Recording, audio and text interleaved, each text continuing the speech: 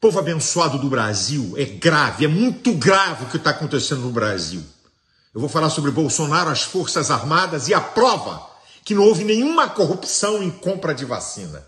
Bem, está em poder da CPI um áudio que foi divulgado pelo antagonista, o cabo, conversando com um representante de uma empresa e declarando que o secretário executivo, o coronel Elcio, não estava atendendo mais e até vão dizer que um reverendo que eu não sei quem vai pedir auxílio a mim para tentar falar com o presidente. Preste atenção, escute isso aí. Preste atenção. Esse daí é o único caminho que não sobrou, cara. Porque o resto, o pessoal do Coronel Elcio lá nem me responde mais. O pessoal do Coronel Elcio lá nem me responde mais. O pessoal do Coronel Elcio lá nem me responde mais. Nem o Igor, nem ninguém lá, cara. Acho que eles perderam a mão. O reverendo tá atrás lá do pastor Malafaia, tá atrás lá do pastor Malafaia, tá atrás lá do pastor Malafaia, tal. Mas o reverendo, né, cara? Tipo Forrest Gump, né, cara? Então, acho que a gente voltou para estaca zero. Onde está a prova da corrupção? Não foi comprada vacina nenhuma.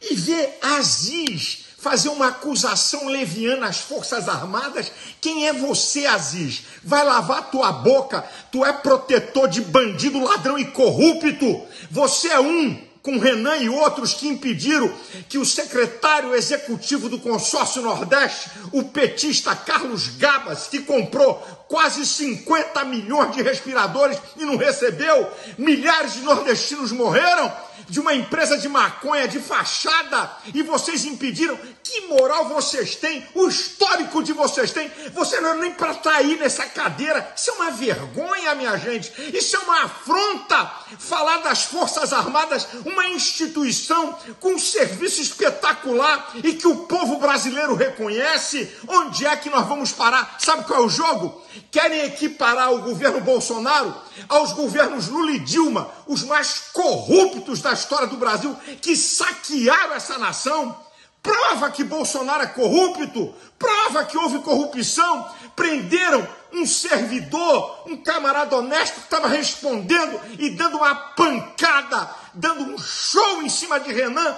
Covardes, me chama, me chama para ir aí, vai, que eu quero ver se vocês vão me intimidar. Vocês são arregão e frouxo, que intimidam mulheres, covardes, até onde isso vai?